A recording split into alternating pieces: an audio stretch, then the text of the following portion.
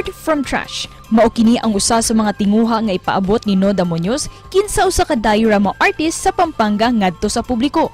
Nagsugod siya og kahilig niini sukad nga nitumaw ang pandemya. Sa gamay lang nga budget ug pag-recycle sa mga materyales, mahimo ka na makabuhat og realistic nga diorama. Kanog mutaga, magpatudlo kita sa pagbuhat niini gamit ang mga recycled materials sa mga panimay dinhi lang sa GMA Regional TV Live. Kapuso, sayra nato kung unsang nakapa-inspire kaniya sa pagbuhat ni mga diorama nga artwork. Makauban nato Noda Munoz. Good morning, Sir Noda. Welcome sa GMA Regional TV Live. Thank you so much po sa pag-invite niyo sa akin to as a guest, guest artist po. Maraming salamat po. Thank you and congratulations, Noda, dahil nag-trending itong mga obra mo. How do you feel about this? And expect ka ba na mag mati-trending ito sa social media? Yes, unang-una po, thank you so much po sa pag-appreciate ng mga artists na binubuo ko. Regarding po doon sa ano, hindi ko po talaga i-expect na mag-trending yung mga creation ko sa Facebook. Hindi ko po alam na marami pong tao or marami pong Pilipino na makaka-appreciate sa mga creation na binubuo ko. I'm so blessed and thankful po kasi marami pong nakasuporta. Sir, ba't mo naisipan na gumawa ng ganito mga artwork, sir? At sinong nag-inspire sa'yo? Ini-start ko lang po ang pagbuo ng diorama or miniature nung panahon ng pandemya, noong pong December 2020. Kung hindi niyo po natatanong, I'm a full-time tattoo artist before bago po ako mag-create ng diorama. So naisipan ko pong gawin ng diorama para maging brain therapy ko para labanan ng depression ko during the lockdown. Kasi tinamaan po ako ng anxiety. Then dumating po yung time na para na, na-hospital ako na wala naman talaga akong sakit. So nag-base na lang po ako para bumuo ng bagong artwork dahil nga po yung tattoo medyo mahina po ng mga panahon So doon ko po binuo yung bahay ni Juan.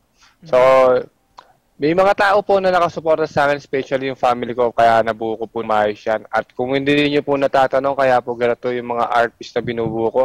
Mostly po mga Filipino version o mga typical na bahay na tinatawag natin barong-barong.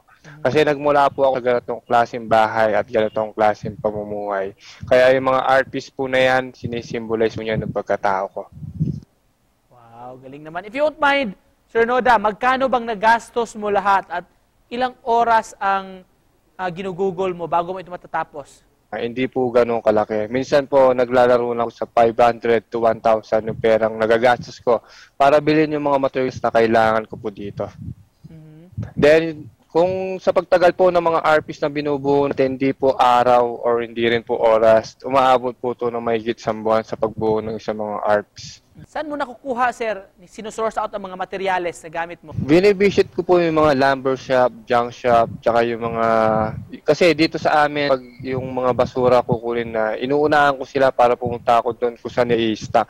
Dahil sasalubungin ko na, hahanapin ko yung mga bagay na pwede kong gamitin.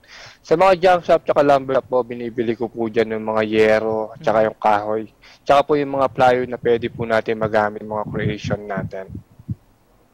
And at the same time, Noda, of course, ina-advocate mo ang pagre-recycle ng mga basura. Yes po, yes po. Kasi gayang po nasabi ko, importante yung basura sa akin kasi kung walang basura siguro or wala yung mga patapon na bagay, yung mga bagay na hindi natin iniisip na pwede pa natin pakinabangan, pwede po natin itong i-recycle into art at pwede na rin po natin maging personal business soon.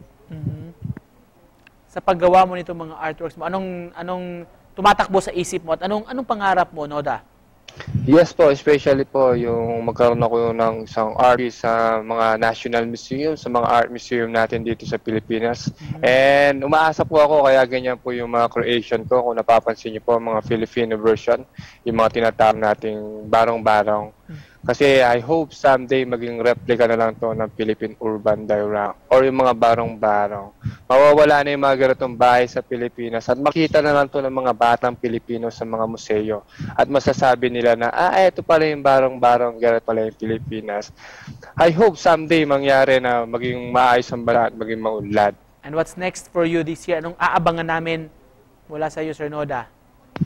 This coming year po, marami pa po tayong bubuin na art piece and meron po akong nilulutong magandang project para bago mo sumapit yung Pasko and sana po maluto ko po ng maayos yung creation na to.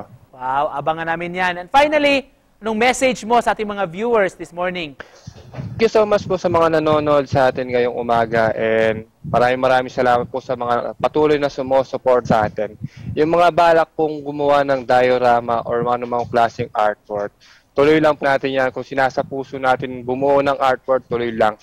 Kasi para sa akin, hindi naman tayo nag-uumpisa sa magaling agad. So sabi ko nga, obsession is better than talent. Kailangan lang natin mahumaling bago natin mapagdikit-dikit yung letra ng talento. And sana marami pa po tayong ma-inspire sa pagbuo natin ng mga diorama. Thank you so much po and good morning po sa inyo.